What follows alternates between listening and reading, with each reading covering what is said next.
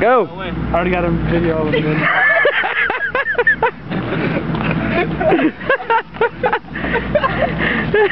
gotta put everybody around too.